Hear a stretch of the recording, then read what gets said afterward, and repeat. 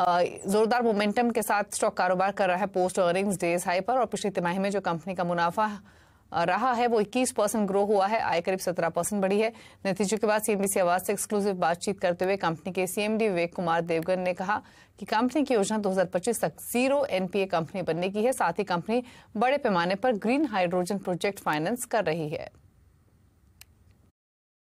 अभी हमने recently green hydrogen का एक ग्रीन हाइड्रोजन ग्रीन अमोनिया का एक प्रोजेक्ट सैंक्शन किया जिसके प्रोजेक्ट लागत लगभग पाँच हज़ार करोड़ थी। उसमें से हम 80 परसेंट अमाउंट चार हज़ार करोड़ हम उसकी फाइनेंसिंग कर रहे हैं। ये प्रोजेक्ट अभी ओमान में स्थापित कर, होने जा रहा है। उसके लिए ऑफटेक का भी इंतज़ाम हो गया है।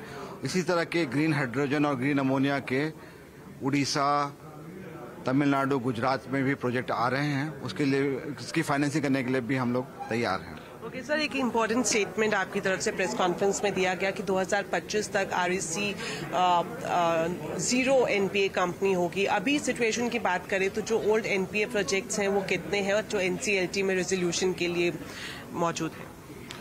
जी, अभी हमारा net NPA point nine seven percent है मात्र और लगभग अभी एनसीएलटी में लगभग 10 से 12 प्रोजेक्ट हैं और कुछ लिक्विडेशन के प्रोसेस में हैं। तो हमारा मानना है कि अगले दो वर्षों में या तो एनसीएलटी में प्रोजेक्ट का निदान हो जाएगा अथवा जो एनसीएलटी में जिनका निदान नहीं हो सकता, जिनका लिक्विडेशन है, उस, वो प्रक्रिया भी दो साल के अंदर पूर्ण हो जाएगी। ऑलराइट सर 54 ईसी बॉन्ड्स की बात करें फाइनेंस मिनिस्ट्री को आप अप्रोच कर रहे हैं पावर मिनिस्ट्री में ऑलरेडी आप ये प्रपोजल भेज चुके हैं मेरे हिसाब से। तो क्या वजह है जो आप अप्रोच कर रहे हैं कि सीलिंग को बढ़ा दिया जाए? What is the objective behind this demand विशेषकर मेट्रोपॉलिटन सिटीज़ में लार्ज वैल्यू ऑफ़ ट्रांजैक्शन हो रहे हैं। जो भी एक छोटा फ्लैट भी लोग बेचते हैं, उस पर भी उनको कैपिटल गेन एक करोड़ से ज़्यादा हो रहा है। तो अभी तक क्योंकि सीलिंग है केवल पचास लाख तक ही इन्वेस्ट कर सकते हैं तो इसमें उपभोक्ताओं की तरफ़ से मांग आ रही थी कि इसकी सीलिंग को बढ़ाने के प्रयत्न किया जाए। इसके लिए हमने इन्वेस्टर्स मीटिंग की थी, मुंबई में की, बेंगलोर में की, गोवा में की। सभी जगह से हमें फीडबैक मिल रहा है कि इन्वेस्टर चाहते हैं कि ये सीलिंग जो है 50 लाख से बढ़ाकर एक करोड़ कर दी जाए। इसलिए हमने मिनिस्ट्री ऑफ़ पावर के माध्यम से मिनिस्ट्री ऑफ़ फाइनेंस को अनुरोध किया है।